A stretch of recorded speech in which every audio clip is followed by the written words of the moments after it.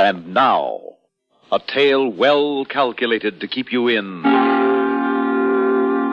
suspense.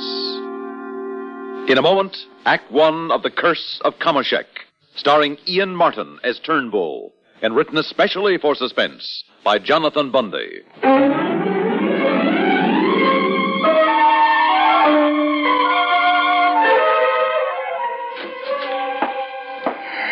Yes, yes. What is it, Walden? I, uh, I beg your pardon, Mr. Turnbull, but I thought you would like to know. Yes, well. Uh, well, it's your nephew, sir, Mr. Donald Ransom. Oh, Lord. Yes, his car has just come into the driveway. It has, huh? Uh, yes, sir. Now, what the devil does that impractical young wastrel want this time? But I'm, I'm sure I don't know, Mr. Turnbull. Well, I think I do. Yes, sir, I yes, think sir. he wants some more extra money from his inheritance to squander on that nonsensical research and experimentation he's been doing over at the university, on those ridiculous journeys to heaven knows where in search of heaven knows what. Ye- yes, sir. Money, money, money.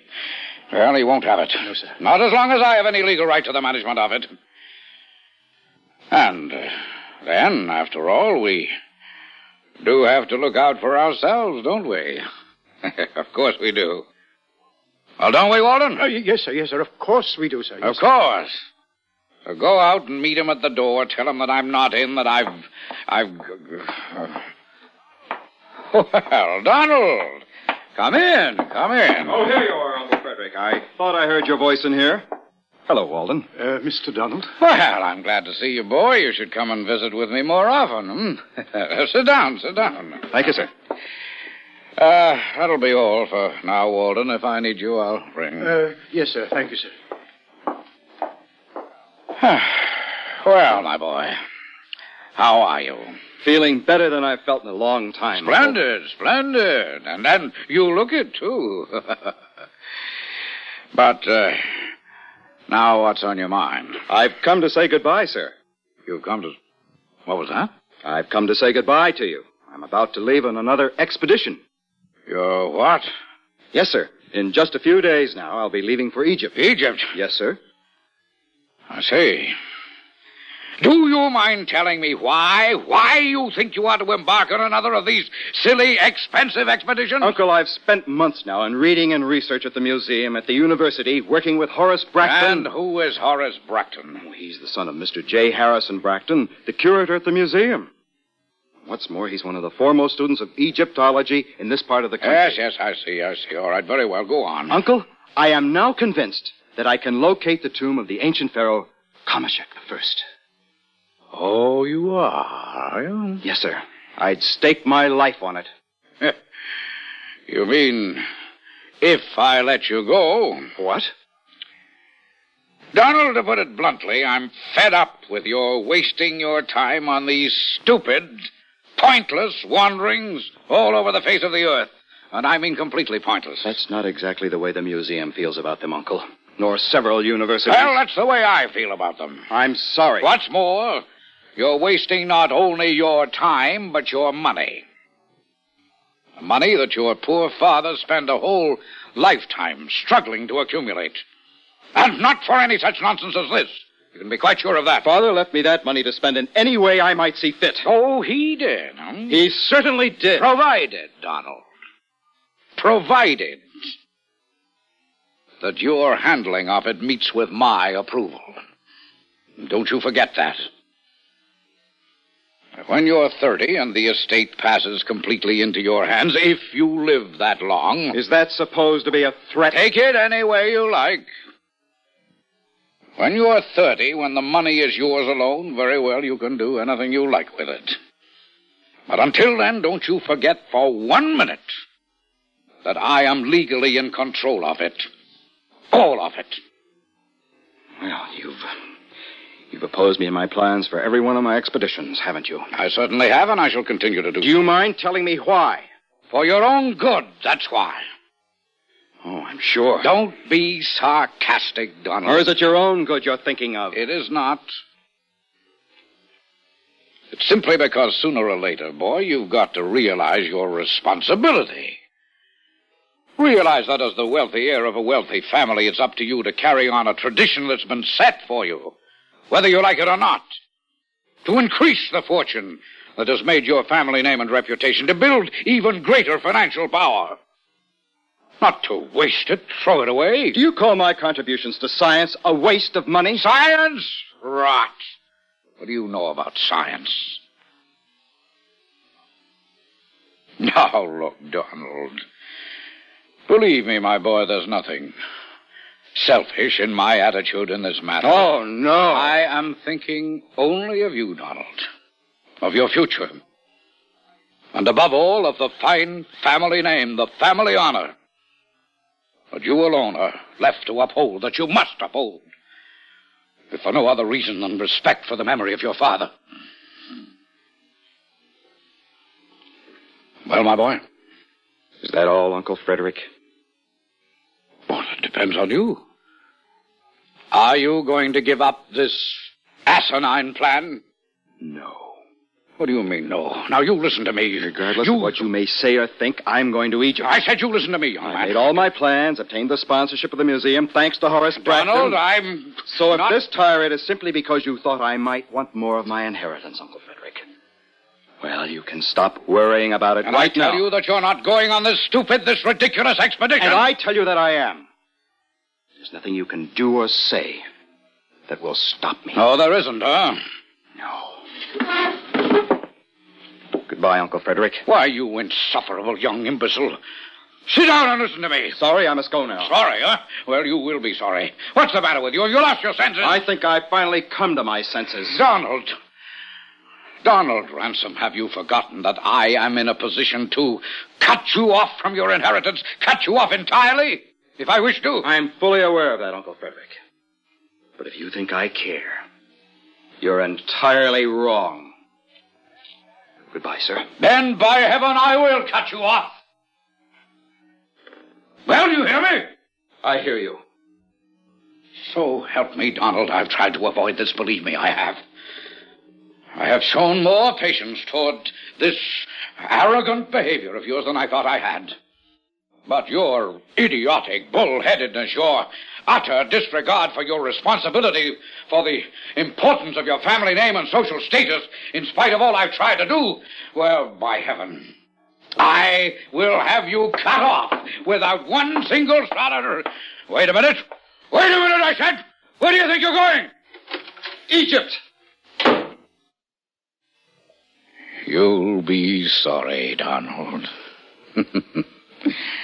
you don't know how sorry you'll be.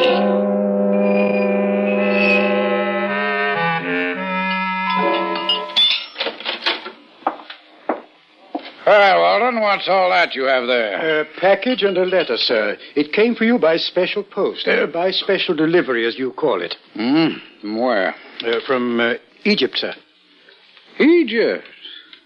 Well, well, well. I've been expecting a letter from him. Three months now, isn't it, that he's been gone? Uh, yes, sir. Yes, Walden, I knew very well that the money Donald had to beg for that stupid expedition would soon run out. So now he wants some more. Hmm? I, I'm sure I don't know, sir. Well, I do, and Walden. Yes, sir, yes, you sir. can take that letter out and burn it. But but but the handwriting on it, sir. It doesn't look As to for me the like. package. Well, all right, let me have it. We'll see what's in it. Ye- yes, sir. Here you are, sir. Probably some completely useless relic or souvenir that he picked up, sent along in the hope it might influence me into sending him money. Well, I assure you that it won't. I made my position clear when he walked out of here. And I don't intend to change it. Uh, Mr. Turnbull, the the handwriting on yes, this letter. Yes, I know, I know, Walden. You've always been sympathetic towards some of his silly ideas, huh? Perhaps even hoped that I would help him. Now, don't worry, I won't. Let's see now. But this was apparently written by somebody What? else other than. Irresponsible young idiot. Look at this. Look at it, Walden. Why, why, yes, sir. I, I see. What is this? Donald's crude idea of a practical joke? This, this dirty old piece of some kind of dried up old bone? It's uh, it's from a human body, sir, and very, very old. So this is the sort of nonsense Donald has been wasting his time and our money digging up out of the dirt and sand over there in Egypt. By heaven, I've said it before and I say it again, Walden. Yes, I know you have, sir. I know you Now, don't you get out of line. No, sir. That, uh, that letter, where's the, where's the letter? Yes, sir. Here, sir. But as I started to say, sir, that handwriting yeah, is. Mr. Turnbull. Oh, I see. It's signed by Horace Bracton. The young man he spoke of who went with him. Oh, yes, yes, I remember. No. Walden. Listen to this. Yes, sir. Dear Mr. Turnbull, a few minutes before he died, your What? nephew, Donald Ransom. Oh, dear. What a misfortune, sir. Donald. Dead. My, uh, my deepest sympathy, sir. Huh? Yes, sir. You can keep your sympathy to yourself, Walden. I beg your I don't- pardon, sir. I, Just forget it and go answer the door. well, sir, but, uh, y- yes, sir. I knew it. I knew I was right. And now, by heaven, this proves it. now, let's see. Your nephew, Donald Ransom's last request was that I send you a section of the femoral bone from the skeleton of the pharaoh Kamoshek that he recovered from the tomb near the ancient city of Giza. As you no doubt have been informed, he died of some as yet completely un. sir. Yes, what is it now? Your, your pardon, sir. Yes, Walden. Uh, uh, Mr. Harrison Bracton, the uh, father of the young man who sent the letter. Oh. All right, send him in. Y- yes, sir. Uh, right in here, sir. Thank you. Ah, come in, Mr. Bracton. Come in. Thank you, Mr. Turnbull. You, uh, may as well sit down, I suppose. Thank you. And uh, before we go any further, I must tell you how distressed I am about your nephew's Yes, death. yes, uh, yes. Uh. Now, let's see. You're, uh, you're over at the museum, aren't you? Yes, I am the curator of osteology. Osteology. That's the, uh, study of bone, I believe. Mm, yes. Well, and here, take a look at this. Even in his last moments, my recalcitrant nephew chose to mock me by sending me this this uh, this bone. I know. From the remains of the pharaoh Kamoshek, it's most exciting, isn't it? Exciting. I'll be honest with you. It's why I came in the hope I might be allowed to see it. See it? Well, take it. It's yours for that stuffy museum you live in. But you, you mean it? Well, I certainly don't want it around here, do I?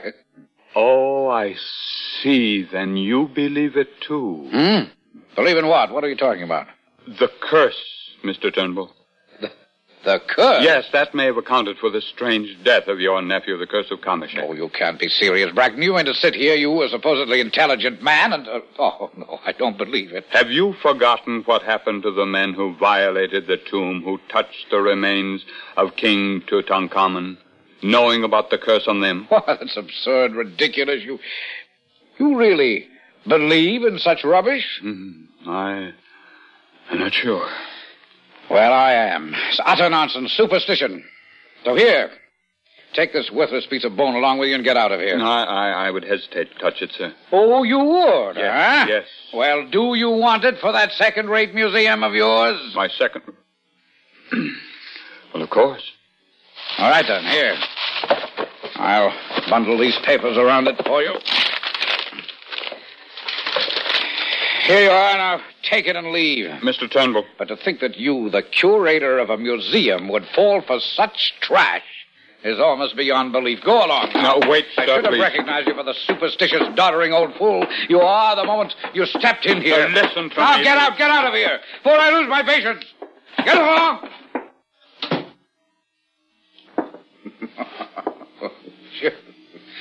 Curse of Kamoshek, huh? I'd like to see it try to act on me. Ridiculous.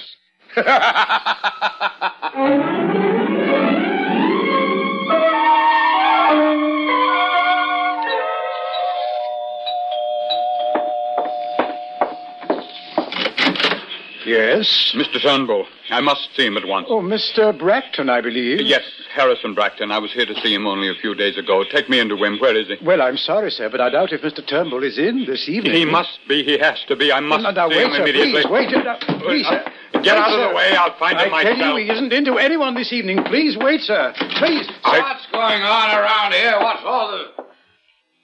Oh. You again? Yes, it's I, Mr. Turnbull. I must talk to you. Yes, so it would seem. Well, I'm terribly sorry, sir. I, I, I that's tried all right. to It's stop all him. right, Walden. Thank you, sir. Well, what do you want this time, Mr. Bracton? Here. Take it. Take back this accursed thing. What? I told you when you insisted I'd take it along with me. I, I told you there was a curse on it. The curse of Kamoshek. Now it's proved itself. Oh, Bracton, have you been to see a psychiatrist lately? Oh, please, please don't jest about this, Mr. Turnbull. I told you I didn't want to actually touch this terrible thing, nor have I, nor will I.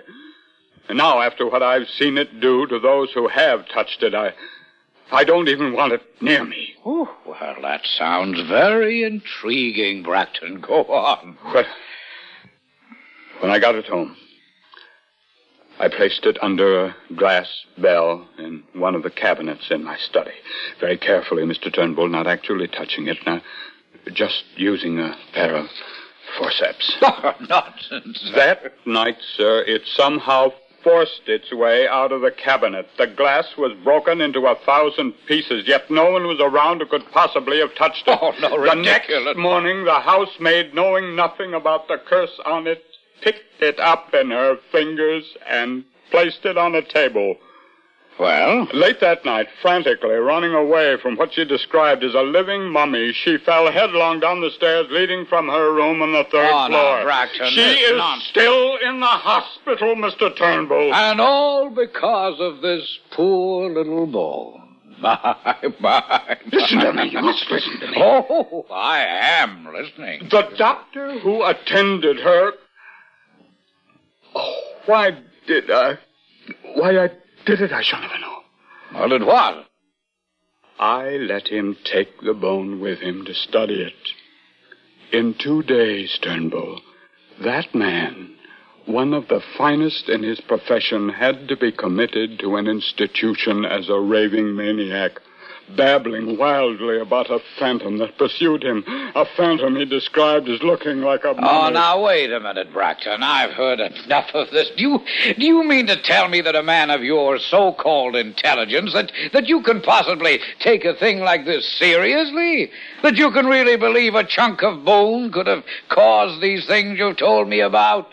If they really did occur. It was you who inflicted this thing on us, Turnbull. And here, now you have it back. Bracton, I'm I can only hope and pray that I may never see it again. You honestly believe that I this... tell you, sir, those things are incontrovertible proof of the curse it carries. And I tell you, sir, that you're nothing but a superstitious, doddering old fool. What's more, I'll prove it to you. Let me have the package. Don't- Here now. Wait a minute. What are you going to do? Turnbull, Well, surely you don't intend to touch that bone. why, I, I thought that's why you brought it here. So I could feel the curse of it, too. Yes. Yes, yes, I did, because I was angry and upset. Very well, then. But you mustn't. Now, aren't you getting a little tired of being foolish about this thing? Please, please, I beg of you. There. Satisfied now? Uh, Now watch me. I'll even hold it in both my hands. Rub it against my face, my cheek. Heaven help you. Curse, did you say? Why, Bracton, you're crazy. Turnbull, you don't know what you're doing. You don't know. You bet I do, Bracton. I'm simply proving once and for all that the only people who are affected by these silly, stupid, childish superstitions are those who believe in them, and I don't. Now that you've seen me defy this so-called curse, you don't have any reason to either. And this will be the proof of it. You will touch it now. No, oh, here you are. No, no, please. I said you'll touch no, it. Don't, don't, don't take it away. Touch it. I beg of you. Will you stand still, you blithering? Eh? Stand, stand still. No. no.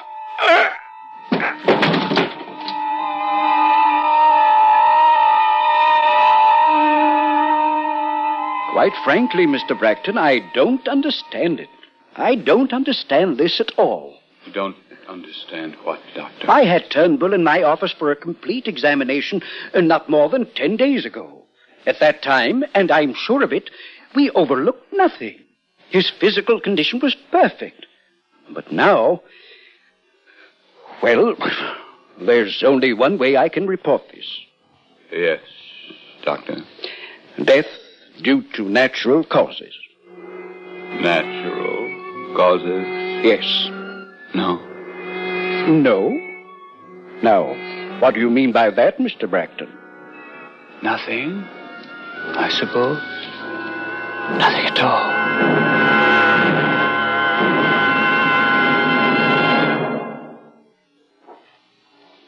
Suspense. You've been listening to The Curse of Kamoshek, starring Ian Martin as Turnbull, and written especially for suspense by Jonathan Bundy.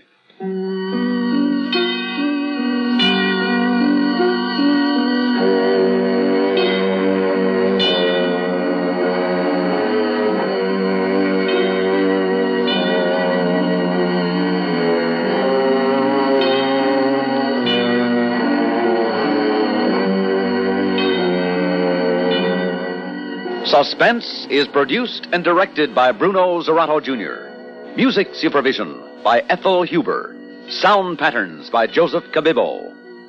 Heard in tonight's story were Raymond Edward Johnson as Bracton, Mercer McLeod as Walden, John Thomas as Donald, and Guy Repp as the Doctor.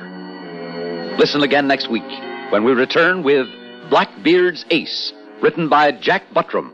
Another tale well calculated to keep you in suspense. The Woman's World Unfurled by Betty Furness, weekdays on the CBS Radio Network.